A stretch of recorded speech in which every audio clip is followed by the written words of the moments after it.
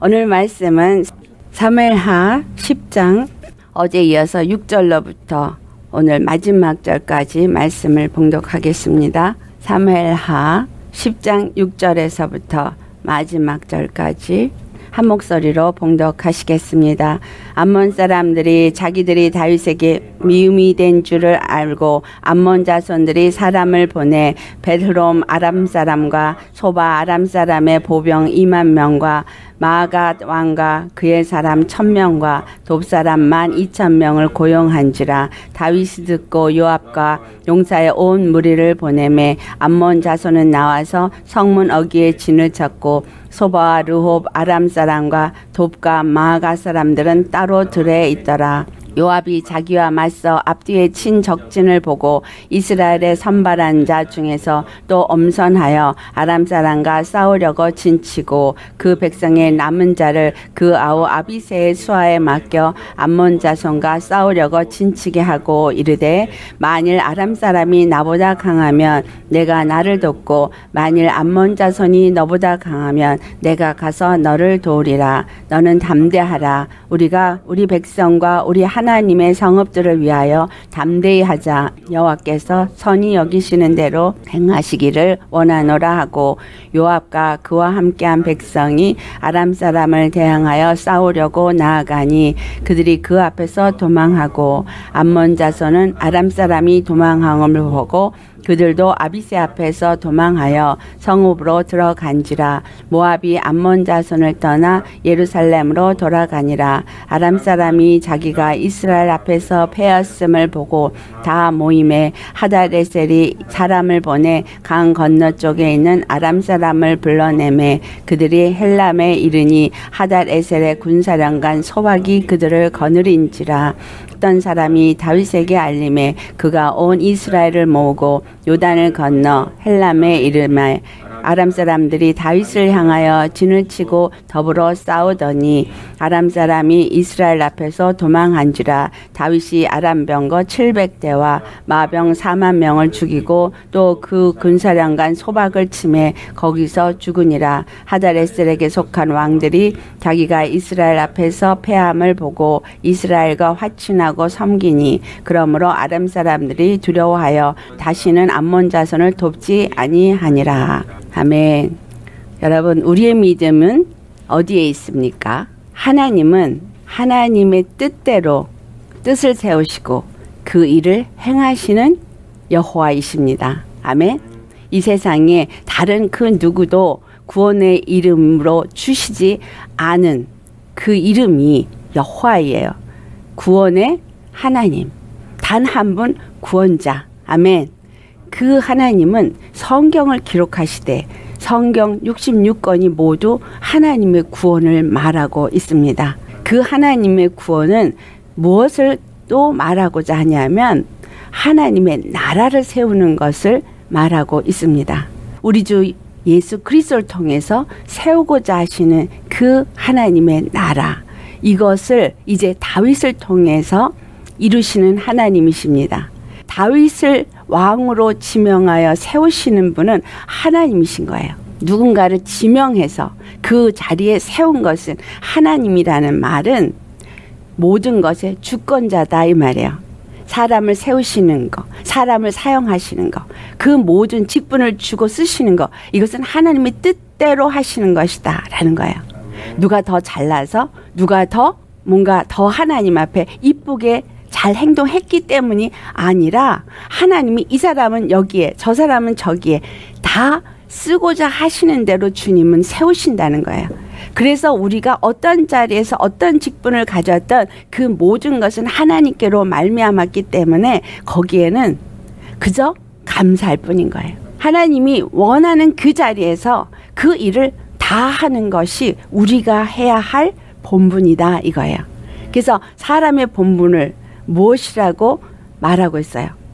여호와 하나님을 경외하는 거. 그 말씀에 순종하는 거. 이것이 사람의 본분입니다. 주님이 그 뜻을 따라서 그 뜻을 이루기 위해서 이제 다윗 왕을 세웠어요. 다윗 왕을 세워서 이스라엘 나라를 강건하게 세우고자 하는데 그 일에 반드시 오늘 우리가 읽은 본문처럼 암몬 자손과 또는 아람 사람들 이런 사람들이 나타난다는 거예요. 한눈의 아버지 나스는 그것을 알아서 다윗과 화친을 했지만 미련한 그 아들은 그것을 알지 못해서 결국은 뭐를 초래했어요? 죽음을 초래했다 이 말이에요. 심판을 초래했습니다. 스스로 심판을 택한 거예요. 하지만 주님은 이 일을 왜 허락하셨느냐? 그의 악함을 드러내서 그것을 진멸하고자 하시는 하나님의 뜻이 있기 때문에 다윗에게는 대적하는 자이지만 그러나 하나님의 뜻은 하나님을 나타내시고 그리고 암몬 자손을 진멸하는 게 있다라는 거예요. 그래서 여러분에게 만약에 어떠한 이와 같은 대적이 일어난다. 그러면 하나님은 나에게서 하나님을 나타내시고 그 대적을 진멸하시려는 것이 하나님의 뜻이라는 것을 믿으셔야 합니다. 이것이 우리의 믿음이 되어야 돼요. 나의 삶에 항상 모든 것을 하나님의 시각에서 보고 하나님은 그 뜻대로 모든 일을 이루시는 하나님이시다라는 것을 우리는 기억하고 그렇게 보고 알고 그 길로 나아가야 해요. 그렇다면 당당할 수 있는 거예요. 다윗을 왕으로 세웠기 때문에 왕은 이제 당당합니다. 다윗은 당당합니다. 우리 주 예수 그리스도를 왕으로 세우셨기 때문에 예수 그리스도 안에 있는 우리는 당당해야 해요. 예수 그리스도 안에서 우리가 당당할 수 있는 것처럼 지금 다윗의 부하인 요압이 당당하게 나아갑니다. 그가 한 말이 있죠. 무슨 말을 했어요? 요압도 이제 여호와 앞에서 말을 하고 있는 것은 그들의 동생이나 그 부하들에게 말을 합니다. 여호와 하나님께서 그들과 함께 하시기 때문에 여호와 하나님이 그들과 함께 하기 때문에 11절과 12절을 보면 담대하라고 말해요. 12절 말씀. 너는 담대하라. 우리가 우리 백성과 우리 하나님의 성읍들을 위하여 담대히 하자. 여호와 하나님께서 선이 여기시는 대로 행하시기를 원하노라. 우리 기도가 이런 모습으로 기도해야 돼요. 요압이 한 말을 살펴보면 우리가 우리 백성과 우리 하나님의 성읍을 위하여 우리가 싸울 때 우리 싸움은 우리 백성 하나님의 백성과 하나님의 성읍 하나님의 나라를 위해서 싸운다는 거예요. 하나님의 백성을 위해서 여러분 싸우고 계십니까? 내가 예수 믿으면서 하나님의 나라를 위해서 믿고 있다고 생각하십니까? 거의가 아니죠. 나를 위해서 믿는다고 생각해요. 내가 전쟁을 하는 것도 나를 위해서 전쟁을 한다고 생각합니다. 그런데 요압의 전쟁은 분명히 우리에게 말해주고 있어요. 하나님의 백성을 위하여. 또 하나님의 성읍, 하나님의 나라를 위하여. 그러니까 여러분은 전쟁을 할 때, 기도를 할 때 뭘 해야 되냐? 나를 위하여. 내가 누구니까? 하나님의 백성이니까. 또 내가 누구니까? 하나님의 성읍이니까.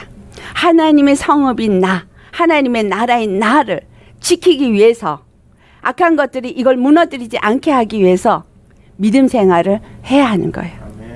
하나님이 원하시는 게 하나님의 나라를 세우는 거죠. 그러니까 당연히 하나님의 백성을 지키시는 게 하나님 뜻이에요.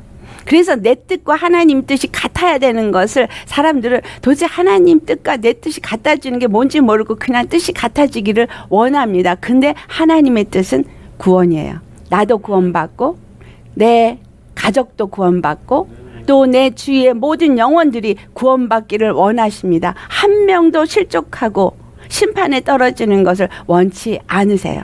그래서 전쟁은 하나님의 백성들을 위하여 있는 거예요. 그래서 오늘 내가 영적 전쟁에서 이길 수 있는 건 하나님의 백성을 위해서 이길 수 있다는 거예요. 왜? 누가 함께 하니까. 여호와가 하나님의 백성을 위해서 함께 싸우시기 때문에. 하나님의 나라인 나를 위해서 함께 싸우시기 때문에. 할렐루야. 그래서 강하고 담대하셔야 합니다. 아멘. 내가 예수 믿으면서 정말 얼마만큼 강하고 담대하냐. 내가 믿음 생활을 하면서 뭔가 강해 보려고 노력해요. 그리고 강하려니까 말씀을 막 사모하고 강하려고 기도를 막 합니다. 그렇게 안 하고 이 믿음이 확실하게 나한테 있으면 강하고 담대할 수 있어요. 하나님은 바로 그 백성과 그 나라를 세우시는 것이 그분의 뜻이에요. 그것을 위해서 그 긴 시간 동안에 성경을 쓰게 하시고 하늘 보좌를 버리시고 이 땅에 육체로 오시고 죽기까지 하셨어요. 그걸 위해서. 그러니 우리를 부르신 하나님이 그 뜻을 지금 우리 안에서 이루어 가시는 건 당연한 거라는 거예요. 내가 하는 것이 아니라 바로 하나님이 그 일을 하십니다. 아멘. 다윗을 세운 것처럼 우리 주 예수 그리스도를 이 땅에 보내셨기 때문에 요압을 세운 것처럼 여러분 군대 장관을 세우십니다. 할렐루야. 주 안에서 예수님의 이 땅에 오셔서 일하실 때 군대 장관인 미가엘이 항상 예수님과 함께 하셨다는 걸 여러분 아시죠? 천사들을 무엇을 위해서 지으셨느냐? 구원 얻을 하나님의 사람들을 위해서 지으셨다는 거예요. 하나님의 뜻을 이루도록 지으셨어요. 그래서 그 뜻은 백성을 살리고 보호하고 그의 성읍인 그의 나라를 보호해서 세우는 거. 그래서 그 뜻을 위해서 군대 장관이 있고 천사들이 있고 그래서 그 천사들을 우리에게 주셔서 우리로 하여금 그 전쟁에 이기게 하신다는 거예요. 전쟁은 우리에게 속한 것이지만 실제로는 누가 싸우는 거예요? 천사들이 싸우는 거예요. 우리는 뭐만 하면 기도만 하면 되는 거예요. 예수님 앞에 기도하면 천사들이 와서 그 싸움을 싸워요. 그래서 천사가 내 기도가 얼마만큼 하나님 앞에 온전히 드렸느냐에 따라서 천사의 숫자가 정해지는 거예요. 내가 더 간절히 사모하고 더 간절히 구하면 그 간절함을 주님께서 이루시기 위해서 응답하시기 위해서 천사들을 마구마구 보내 주신다는 거예요.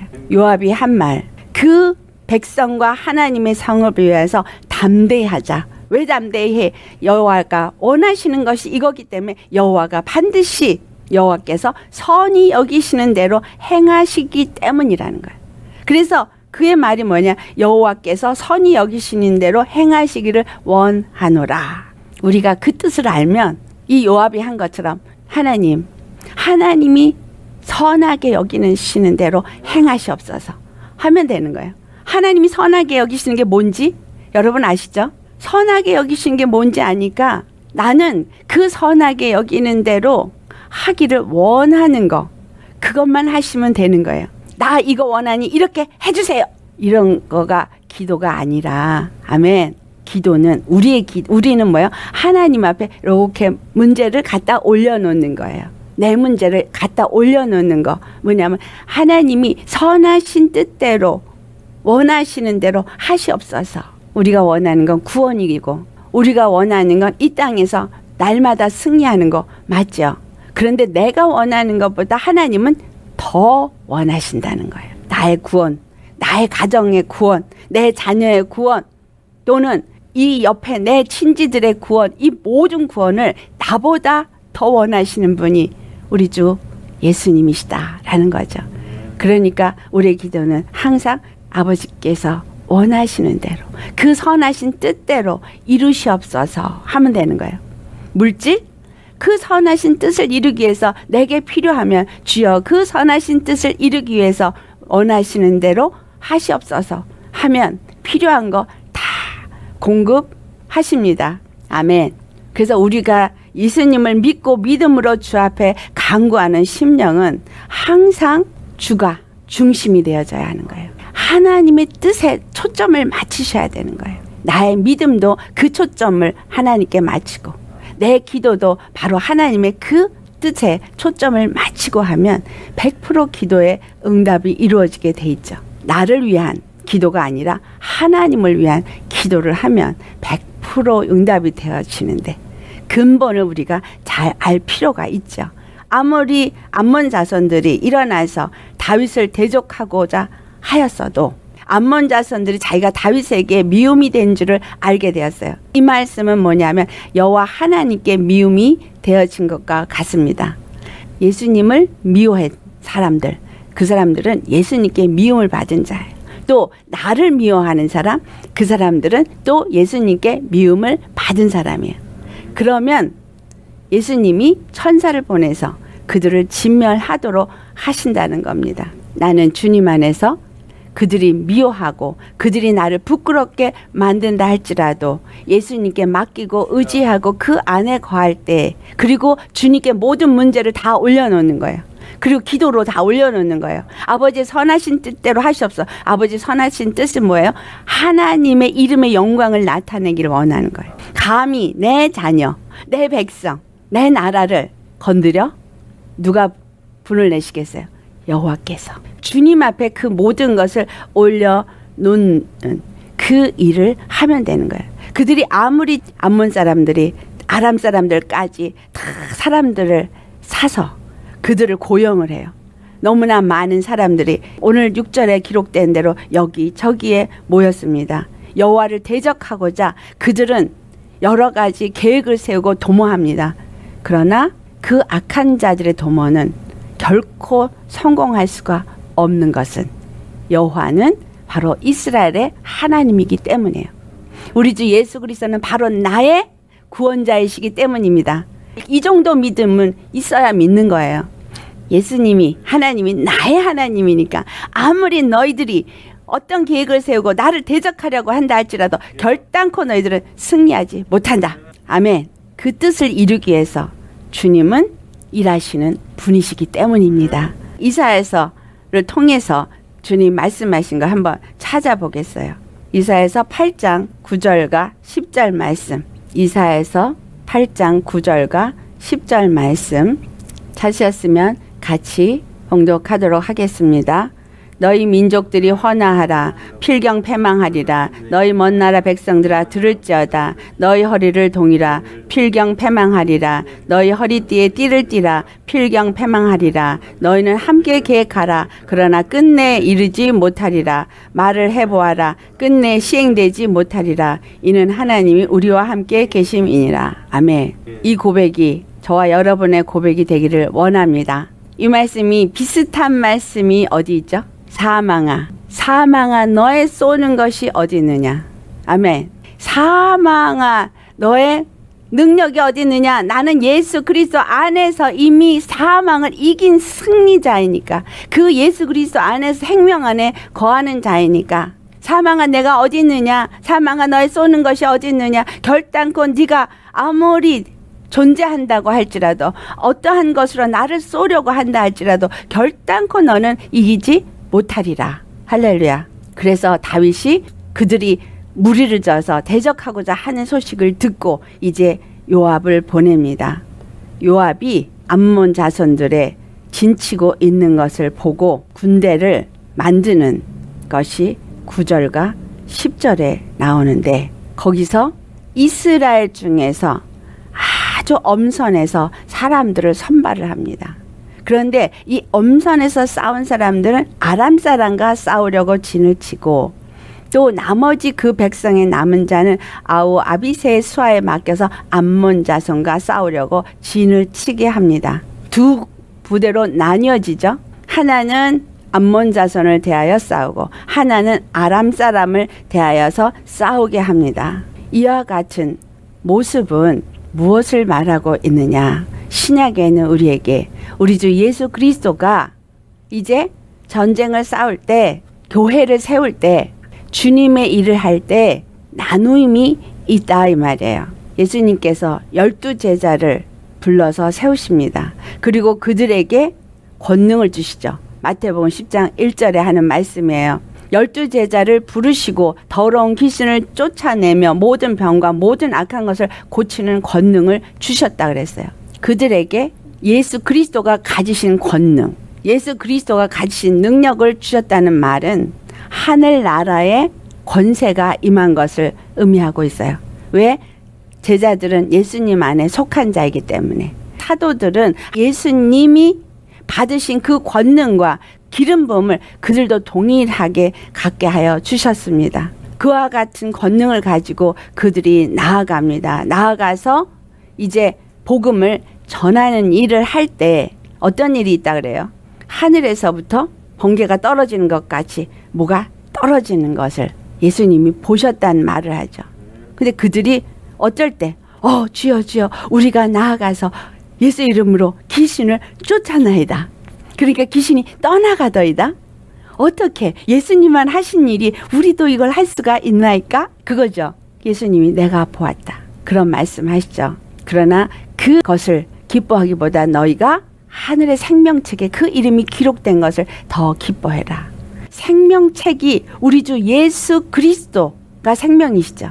그러니까 예수 그리스도 안에 속한 자가 된 것을 기뻐하라 이 말이에요. 예수 그리스도께서 그 권능을 가지신 분이에요. 그 권능을 이제 예수 그리스도에게 속한 자에게 동일하게 주었다는 걸 우리는 볼 수 있습니다.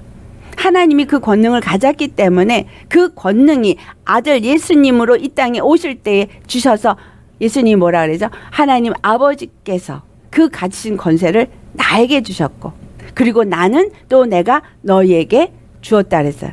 하나님 아버지께 기도할 때도 아버지께서 내게 주신 그 권세를 또 그 이름을 내가 저들에게 주었사오니 그런 말씀을 하시면서 우리가 하나 된 것까지 저들도 우리 안에서 하나가 되게 하려 합니다. 하나님의 왕권은 다윗에게 주어진 왕권은 이 요압에게 주어지고 요압의 군사들에게 동일하게 주어지는 이 왕권은 바로 여호와께로부터 임한 권세다 이 말이죠. 다윗과 함께 하시기 때문에 요압과도 함께 하시고 요압의 군대와도 함께 하시고 그의 동생 아비세와 아비세의 군대에게도 함께 하신다는 거 믿으십니까? 우리가 예수 그리스도가 아버지로부터 그 모든 걸 받았기 때문에 예수 그리스도가 한량 없는 기름 부음을 받으셨어요. 그 한량 없는 기름 부음으로 나아가서 병든 자를 고치고 귀신을 쫓아내고 이적과 표적을 다 행하시면서 하늘나라를 전파했어요. 하나님의 뜻은 하늘나라를 전파해서 하나님의 나라를 세우는 거 맞죠? 예수님이 오신 것도 그 일을 위해서 오신 거기 때문에 바로 그 동일한 권세가 예수님께 성령으로 말미암아 주어졌어요. 이제 우리에게 그것이 동일하게 주어졌다는 거예요. 동일하게 주어진 이유는 우리로 나아가서 하나님의 바로 그 백성들을 보호하고 살리고 성읍을 지키도록 그래서 누가복음 10장 19절 말씀 잘 아시죠? 누가복음 10장 19절 말씀 내가 저에게 모든 원수를 제어하며 뱀과 정갈을 밟는 권세를 주신다라고 말씀합니다. 우리에게 모든 악한 원수를 제거할 수 있는 능력을 주시고 그리고 뱀과 정갈을 밟는 권세를 주신 것 이것이 바로 그 제자들을 불러서 그 제자들에게 나아가서 그 일을 하게 하시는 거예요. 그 일을 하게 하시면서 그들이 나아가서 실제로 주신 권능을 따라서 그 모든 일을 한 것을 기록한 것은 오늘 우리에게 가르쳐 주고 있는 일입니다. 나에게 그와 같은 하나님의 권능이 예수의 이름으로 임하고 그 이름으로 나아가는 군사가 되어졌다 이 말이에요. 요압과 그의 군사들이 다윗의 군사로 나아가고 여호와의 영이 그들과 함께 하셔 선한 일을 이루실 것이기 때문에 당당하게 나아가면서 담대하라. 아멘. 우리가 담대할 수 있는 건 무엇 때문에 여호와께서 선을 행하실 것이기 때문에 예수께서 십자가에서 이기셨기 때문에 우리는 예수 그리스도 안에서 요한일서 4장 4절 말씀처럼 우리 안에 계신 이가 세상에 계신 이보다 크신 이기 때문에 우리의 이김이 정해져 있다라는 거예요. 두려워하지 않는 믿음이 있어야 하는 겁니다. 담대한 믿음이 있어야 하는 거예요. 강하고 담대하게 나아가는 거. 자, 이때 요압이 둘로 나뉘죠. 하나는 아람 사람을 대하고 암몬 사람을 대하고 한 군데는 아람 사람을 대하고 각각 나뉘어집니다. 이것이 신약에 와서 여호와께서 제자들에게 하신 말씀을 우리가 살펴보면 권능을 주고 나아가게 하면서 시, 어, 마태복음 10장 5절 6절 말씀 찾아보면 예수께서 열두를 내보내시며 명하여 이르시되 이방인의 길로도 가지 말고 사마리아인의 고을에도 들어가지 말고 오히려 이스라엘의 집에 잃어버린 양에게로 가라 라고 하신 거예요. 이 유대인들에게 충실하게 유대인들의 회복을 이루도록 유다인의 추수가 온전히 이루어지도록 하라 그 말이죠. 이방인에게 가지 말고 사마리아인에게 가지도 말고 오히려 이스라엘에 잃어버린 그 집의 어린 양에게 가야 되는 이유는 하나님의 모든 것은 때가 있다라는 거예요. 여러분에게 오늘 이렇게 주의 말씀을 받고 은혜 가운데서 자라나게 하는 거 바로 이 말씀이 예수님께서 이들에게 제자들에게 한 것이 이방인에 가지 마. 사마리아에도 가지 마. 이스라엘 집에 잃어버린 양에게 가라라고 한 것과 같은 거예요. 먼저 내가 되어야 하는 거예요. 주의 말씀이 시온에서부터 나온다 그랬죠. 예수님이 유다 족속으로 이스라엘 땅에 오신 이유는 거기서부터 시작이 되어야 하기 때문이에요. 복음은 예루살렘에서 시작되어서 온 유대와 사마리아와 땅끝까지 이르러서 다 전파되게 하는 거 아버지의 뜻입니다. 모든 민족이 다 복을 받는 것을 아브라함에게 약속하셨고 아브라함에게 약속한 약속을 내가 이삭과 함께 세우리라 한 이삭에게 주었고 이삭에게 또 야곱이 나게 하시고 야곱에서 열두 지파가 나게 하셨고 이와 같이 누군가 하나로부터 시작이 되어져서 번성이 되어지는 것을 성경은 기록하고 있습니다. 내가 예수 그리스도 안에서 먼저 주님의 제자로 준비가 되어져야 하는 거예요. 그리고 나서 때가 이르니까 무슨 일이 일어나냐면 스테반의 순교의 역사가 일어납니다. 사도행전 7장에 스테반의 역사가 일어나고 8장 1절에 가면 이제 핍박이 예루살렘 성에 임하게 될 때 그곳에 있었던 모든 사람들이 다 흩어집니다. 흩어지지만 예루살렘의 사도들은 그대로 남아있게 돼요. 사도 외의 모든 사람들은 다 흩어져요. 왜? 이와 같이 흩어지는 역사를 주님이 하신 거예요. 자, 그러니까 스테반의 순교도 하나님이 허락하신 거예요. 그 스테반의 순교를 통해서 누가 거기서 나오기 시작해요? 사울이라는 이름이 나오기 시작합니다. 그 순교의 장면에 사울이 나오는 이유는 바로 이 수데반의 순교는 복음이 예루살렘에만 있는 게 아니라 이제 이방인에게도 전파되어질 것을 주님이 준비시키고 있다라는 걸 보여주고 있죠. 그래서 그들이 흩어져서 나아가서 그 다음에 사도행전을 보면 빌립이 사마리아 성으로 가서 복음을 전합니다. 그래서 그 복음을 전하고 거기서 그 권능을 행함으로 인해서 그 사마리아 성의 기쁨이 충만하게 되어지는 것을 기록하고 있습니다. 자, 빌립과 사도는 차이가 있어요. 무슨 차이가 있어요? 사도들은 예수님 앞에 제자로서 물론받은 사람이고 빌립은 집사로서 세움을 받은 사람이에요. 근데 집사로 왜 세웠느냐 하면 사도들 밑에 제자들이 많이 번성하기 시작했어요. 제자가 많아지니까 너무나 할 일이 많았어요. 그러니까 사도들은 말씀과 기도에만 전념하도록 세워진 것이 집사예요. 교회는 딱 이 두 종류밖에 없어요. 하나님의 말씀과 기도로 전혀 힘쓰며 주의 말씀을 가르치고 전하는 자. 사도들이 그 일을 하도록 돕는 일, 성도들을 돕고 구제하고 그들을 돌보고 이 모든 관리를 하도록 세운 것이 집사인데 집사도 성령 충만한 자들을 뽑아가지고 그들에게 안수를 해서 세우는 거. 그러니까 오늘날의 교회에서 안수 집사라고 하는 게 여기서 성경에서 말하고 있는 집사죠. 집사라는 직분은 사도들을 돕는 자예요. 그러나 이 일은 직분이 다르지만 다른 것 같지만 사실상은 같은 일이죠.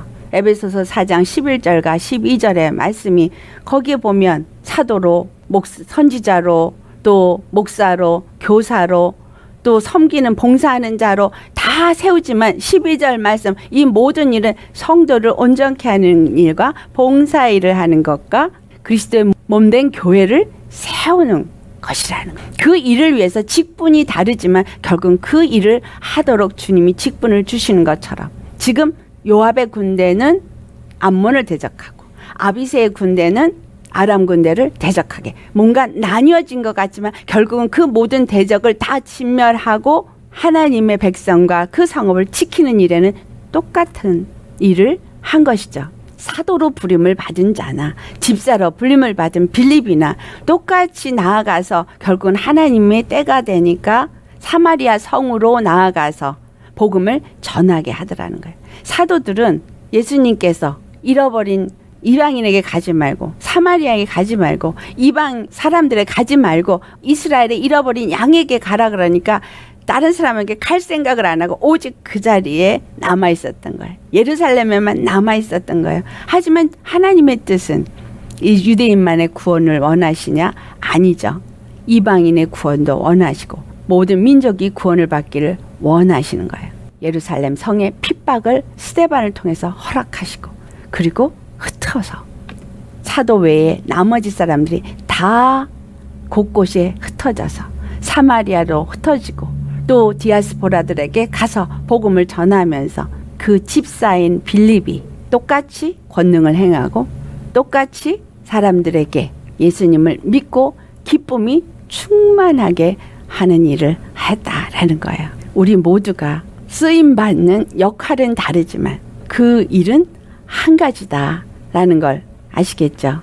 그 모든 일을 할 때 요압이 무엇을 말합니까? 내가 혹 약해질 때는 네가 돕고 네가 약할 땐 내가 돕겠다라는 말을 하죠.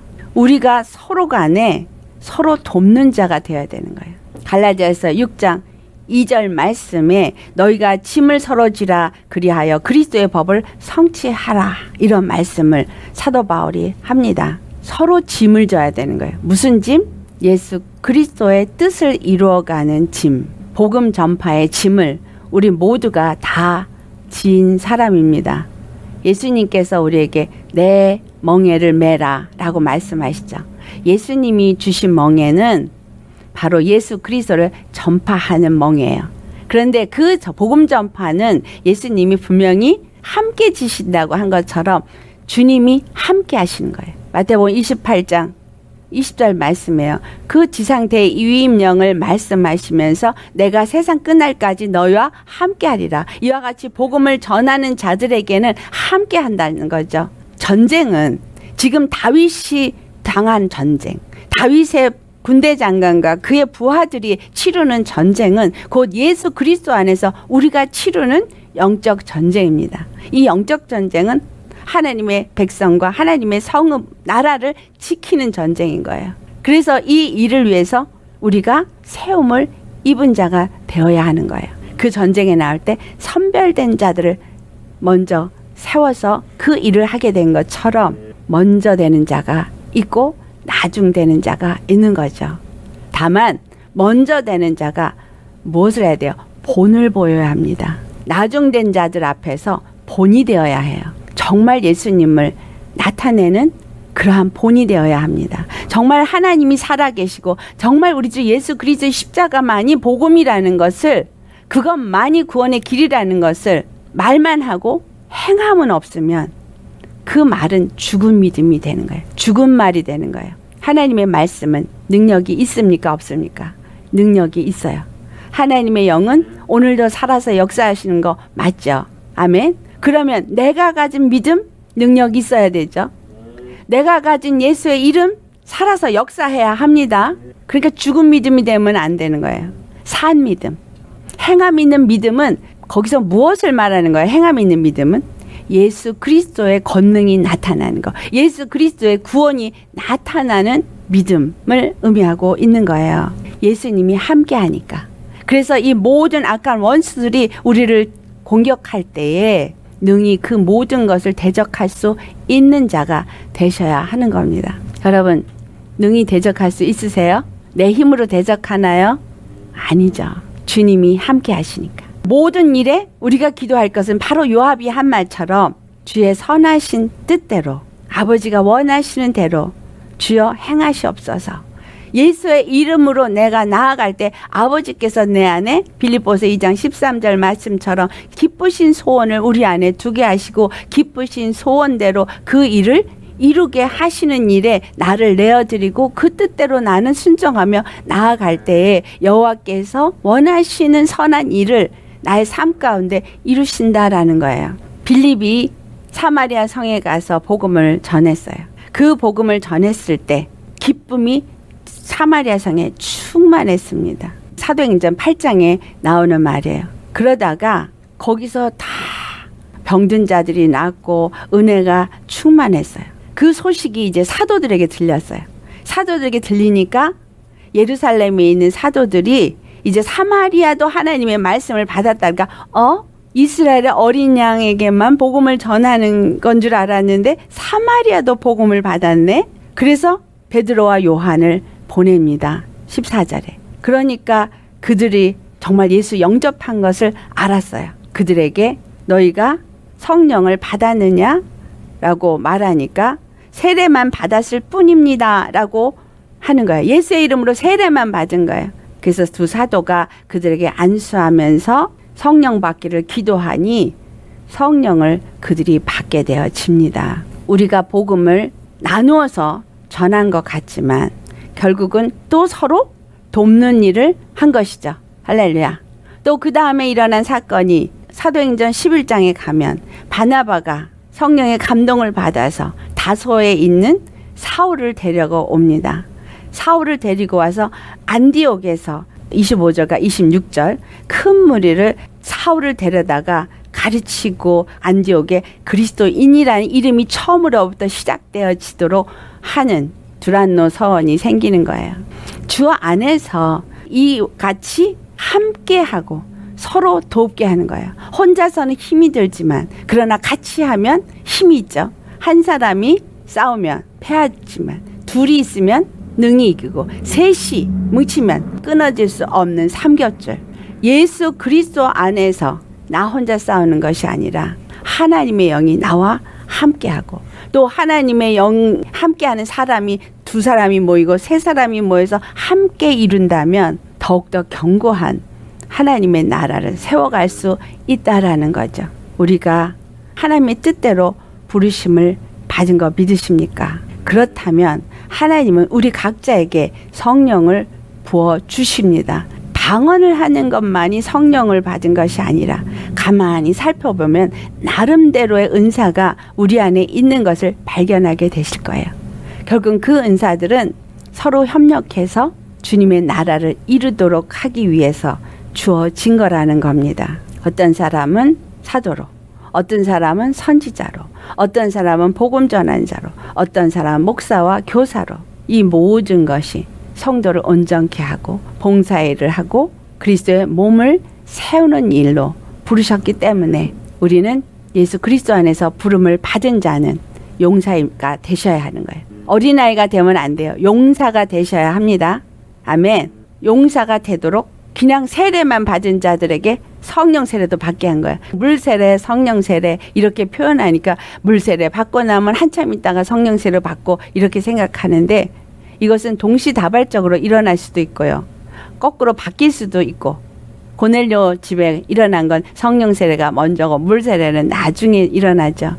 그러니까 무엇을 말하거냐 의식적인 것을 말하는 것이 아니라 의식은 모든 사람에게 알게 하기 위한 그런 것이고 실제로 하나님의 영의 역사로 실제로 내가 물세례 받은 예수님을 온전히 영접한 심령이 되어야 하고 그러한 자들은 또한 하나님이 성령의 세례를 주셔서 성령으로 충만하게 하시는 이유 성령으로 하지 아니하면 아무것도 할 수 없기 때문에요. 성령이 우리 안에 임하셔서 우리로 하여금 싸울 수 있는 권능을 받게 되어지는 것을 의미하고 있습니다. 예수의 이름이 우리에게 임하는 것, 그것이 권능을 받는 것, 이것이 성령이 우리 안에 임하여서 그 이름으로 무엇인지 구하는 대로 얻고 그 이름으로 명령할 때마다 귀신이 쫓아가고 그 이름으로 뱀을 집으며 무슨 독을 마실지라도 해를 받지 아니하는 역사.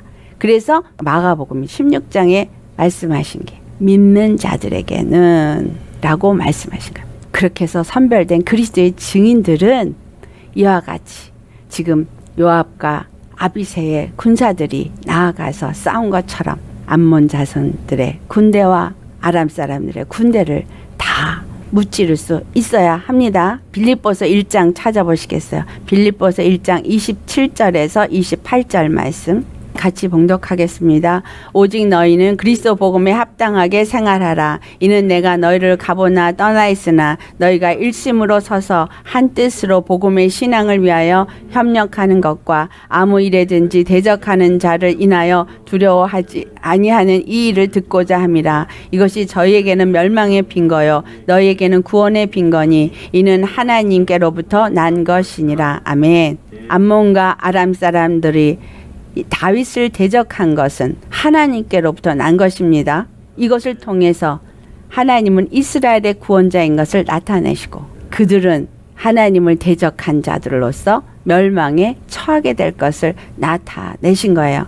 이와 같은 말씀을 통해서 깨달아 알아주는 것. 예수님이 나와 함께 하시는 나는 그리스도의 사람이다. 그리스도의 교회다. 그리스도의 사람으로서 복음에 합당하게 생활을 하는 자가 되어야 하는 거예요. 어디에 있거나 사도 바울이 내가 너희를 가보나 떠나 있으나 너희가 일심으로 한 뜻으로 복음의 신앙을 위해서 합력하는 것과 아무 일에든지 대적하는 자들을 인하여 두려워하지 아니하는 이 일을 듣고자 함이라. 주님이 우리를 통해서 보고 싶은 거, 제가 여러분에게 보고 싶은 거 무엇일까요? 아무 일이든지 어디에 있든지 간에 두려워하지 아니하고 복음을 위해서 정말 열심으로 일심으로 한 마음으로 일심 한 마음으로 함께 그 일을 이루어가는 걸 듣고자 하심이라는 거예요. 주님이 그걸 보신다면 그들과 함께 하시는 역사를 보는 거죠.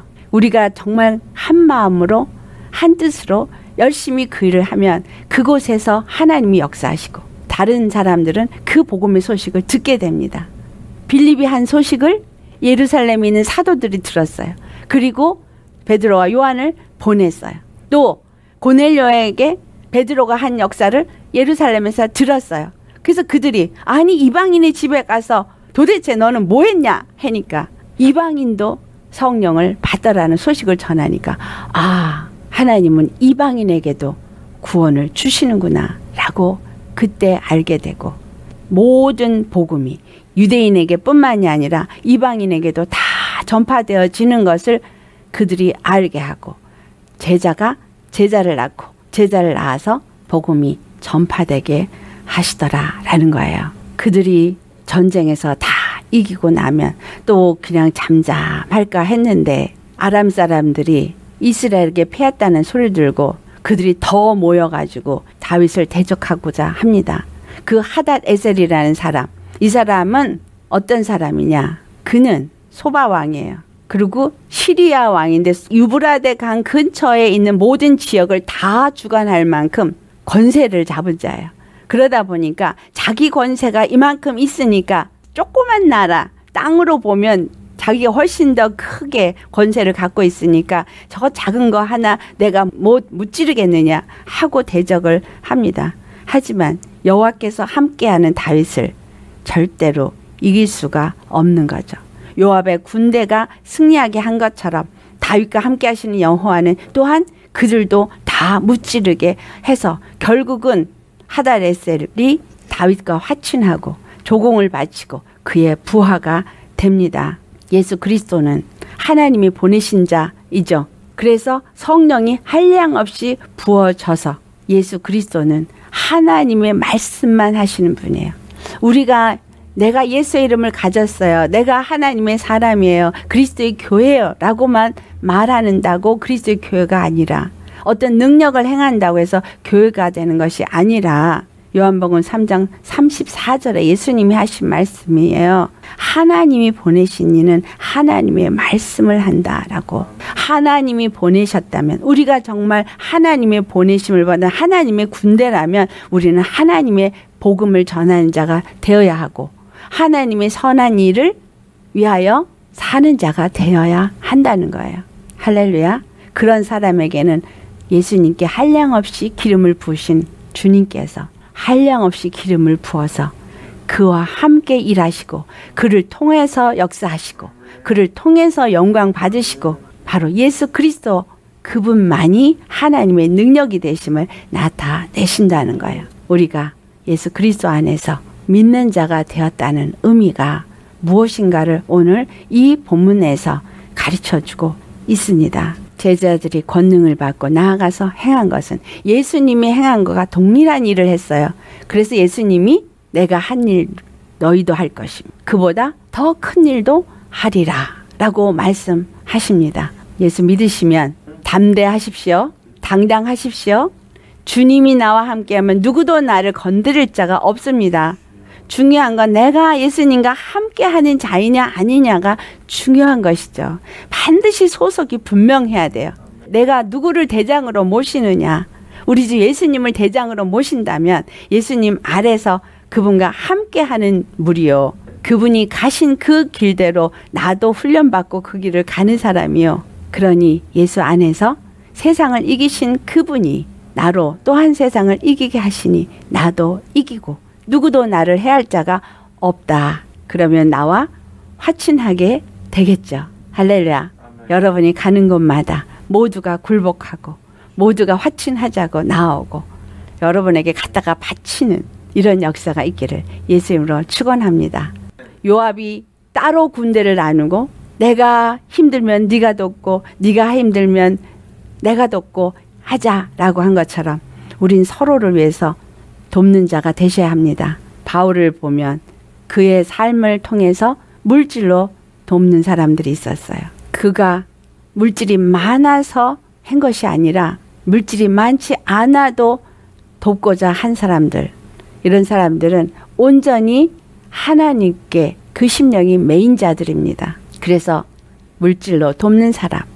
또 기도로 베드로가 감옥에 들어갔을 때 진동을 할 만큼 모여서 기도를 간절히 하니 천사가 베드로의 착고를 다 풀어내셔서 그를 감옥에서 풀어낸 것처럼 기도로 돕는 역사. 또 사도와 집사를 분리시킨 것처럼 뭔가 옆에서 섬김으로써 온전히 말씀과 기도로 전혀 힘쓰도록 돕는 역사. 이 모든 것들을 서로가 도우면서 하나님의 몸된 교회를 세우는 일을 우리는 해야 합니다. 아멘. 우리 모두 이와 같이 서로 돕고 서로 싸우면서 하나님의 백성과 그의 성읍을 지키고 그의 나라를 세우는 그리스도의 몸을 세우는 자가 되시기를 예수님으로 축원합니다. 아멘. 할렐루야. 기도하겠습니다. 할렐루야 거룩하신 하나님 아버지. 하나님을 대적하는 자를 결단코 하나님은 간과하지 아니하시고 암몬 자손을 진멸하되 그 진멸은 다윗에게 허락된 것이나 이 모든 것을 행하시는 이는 여호와이심으로 요압이 여호와의 원하시는 대로 그 선하신 뜻을 이루시기를 원하노라 하면서 모든 전쟁을 여호와께 맡기고 그 여호와께서 우리를 위하여서 싸울 것이기 때문에 담대하라 한 것처럼 아버지여 우리의 전쟁은 여호와께 속한 것이고 우리의 전쟁은 하나님의 뜻을 이루는 것이기에 하나님의 백성을 지키고 하나님의 성읍을 지키고 하나님의 나라를 온전케 하는 일에 우리가 싸우는 것이기에 우리의 싸움 가운데 반드시 주님이 함께 하시고 반드시 그 일을 이루시기 위해서 아버지께서 모든 것을 허락하시는 것을 믿는 믿음을 우리에게 허락하옵소서. 그리고 주 안에서 담대하게 주님이 주신 능력으로 그 권능으로 그 일을 이루어가게 하여 주시옵소서.